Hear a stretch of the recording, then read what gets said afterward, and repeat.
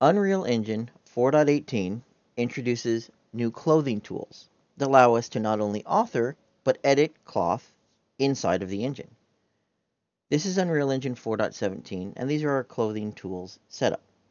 We have our Apex clothing files that are set up on our Owen model here. We have a tie and we have a coat. And then we have all the appropriate settings here. Now all these settings can be adjusted and it will change the weighting, the lift, drag, things like that that affects the cloth model that we've imported, but it is fixed to the weightings that it was content created with. So for example, if I go to show clothing and then physical mesh, we can see the mesh that's being applied to this jacket. And you can see how we have some fixed settings up here and some more weighted ones down here. So when we are having it on the body, it will adhere to the shoulders, and then the rest of it will kind of drape over our character. Now in 4.18, which you can see here, we have something slightly different. We have all the same looks and we have all the same settings, but we have a new button at the top called Activate Cloth Paint. When we click on that, we now get our cloth painting setup. We get our cloth painting tools. So you can see them over here. And if I click on something like our tie or our coat, we actually can see the weights. Let me go ahead and turn this down so we can see it a little bit easier. And we can see the same basic weighting setup before. We see our fixed areas, and we see some heavier weights and some lighter weights. And what this does is allows us to actually adjust them in the editor. And now you can create your own cloth, which we'll cover here in a second, the basics of, or you can paint on existing imported Apex cloth. Either one works, so if you have an existing setup already, you can continue using it, or you can just do everything inside the engine. Now in this example here, you'll notice that our little belt, it kind of falls down, and I don't really like that. Now if I was doing this in the older way, I would have to say, okay, well I don't really like this. Maybe I want it to pinch a little bit more here, give it a little bit more weight, so it, it holds sturdier. Now I need to go back into my DCC program, Max or Maya or something like that, change those settings, bring it back in, reapply them, and continue testing back and forth. With the new system, I can go in here and just paint. Now, I'm going to want this to be about 2. 2 is going to be basically a hold, so I can go like this, paint a little bit right here, maybe paint a little bit on this side here, and this will give me a little bit of a hold in this area. If I let go of the cloth paint, you'll notice it now holds right there, and it holds right there. You know, I could go in, maybe, maybe I want to actually make that belt kind of hold all the way around like that. Oops, wrong button something like this. Maybe get a little bit of a hold around his waist. Deactivate, and you now you'll notice it kind of holds a little bit better. Gives us a little bit better look. Now, I'm not an artist. This is going to come out looking like crud no matter what I do. I'm just showing you how the tools could be used. The nice thing here now is I can just simply come back in, adjust some weights, test, adjust some weights, test. You can even apply inside of the preview scene settings an animation. So I could go in here and check out the run animation. Let's go run forward. And I can see how it weights in real time. Okay, you know, I may not like this. I could pause it, activate the cloth paint. Let's give it a little bit more weight, maybe farther down, maybe a little bit thicker around there. I didn't really like how it was going. You know, like this. Oh, that's a bit too much right there. We can adjust this back to 100. And we'll cut that out a little bit. You know, this is just, it's the fact is you get to do this in the editor. Let's go ahead and undo it. We can see how it holds now. We'll hit play again. And you can just test it and iterate directly in the editor. So it makes it much quicker to try some things out. Now let's say you have a mesh. Let me go ahead and undo our animation. So you just stand there. Now let's say you have a mesh, but you don't have clothing. You don't have any Apex clothing to import. You want to go ahead and apply it inside the editor. Well, inside of here, if we have our section select section selection selected, you can then click on the different parts of your mesh. So I have a tie, I have the chest, I have the legs, I have the coat, I have the head. I have the eyes too, apparently. They're all the different parts of the mesh.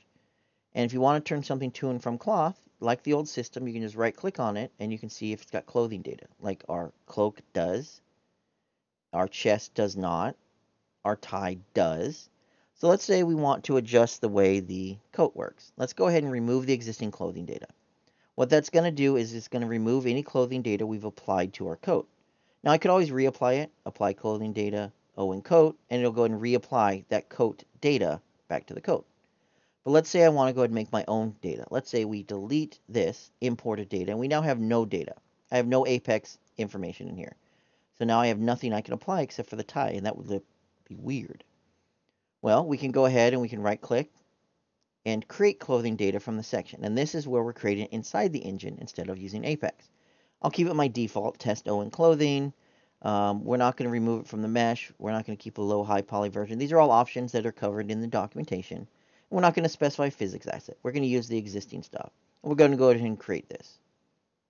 It'll take a second and it'll create some clothing data. Now if we activate cloth painting, you'll notice we now have clothing data. It's all set to fixed because we haven't done any weighting. And if we were to actually, you know, test this, it's going to look just like this. Now there are a couple different things here. First of all, it's not applied to anything. So that is kind of important to know. Right now, if we were to paint it, so let me go ahead and activate cloth painting. Let's go ahead and make a little bit on the bottom here. Well, let's give us a little bit bigger brush. We'll just kind of make our bottom part soft and our top part rigid. We'll do it right around the waist or so. Make it really simple, really simple test like this, okay? We'll go ahead and deactivate cloth painting and nothing changed. Well, this cloth data is not applied to anything. So let's go ahead and select our code again. Let's say we unselected it. We'll select it again. And now we'll apply our clothing data to that. And you'll notice once it applies, there we go. Now we've got things dropping down. We have the things down here falling down. You'll also notice a couple things. You might, depending on how your cloth is set up, um, you'll notice that our buttons kind of disappeared because our buttons weren't really fixed onto the object. You'll notice this one down here kind of dropped down. So that's something to keep in mind when you're painting and you're adjusting things. We don't really have data on our buttons, so they kind of fell off. I'd have to repaint them on, basically. So like, um, eh, you know, let's go with three, you know, and I might might want my buttons to have a, you know, actually be attached. So that way when I activate it, they don't really come off. They're kind of affixed to this area. It's again, I'm not an artist. It's something you'd have to adjust as an artist. But it allows me to adjust it in the editor. I don't have to go external. We want these sashes to fall down, for example. Let's activate our cloth paint. Let's put this more up to 100. And let's go ahead and just paint our sashes. Oh, this is our belt, I guess, not sashes.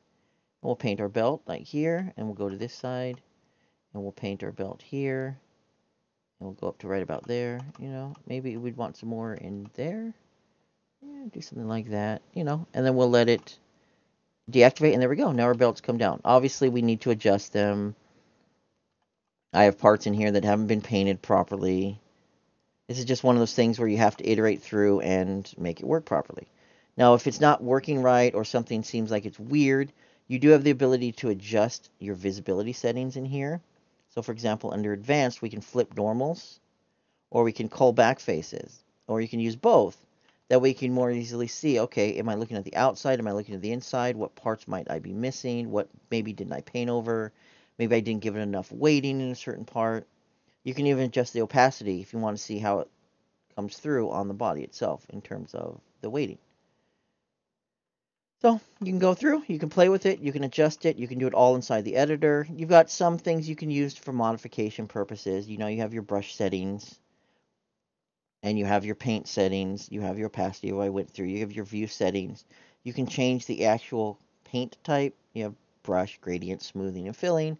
And then you have your different masks. So you can, for example, add a new mask, and this mask could be backstop distance, backstop radius, max distance, or none. And you can apply different masks to get different effects for different parts of the body, depending on what you want your effect to be.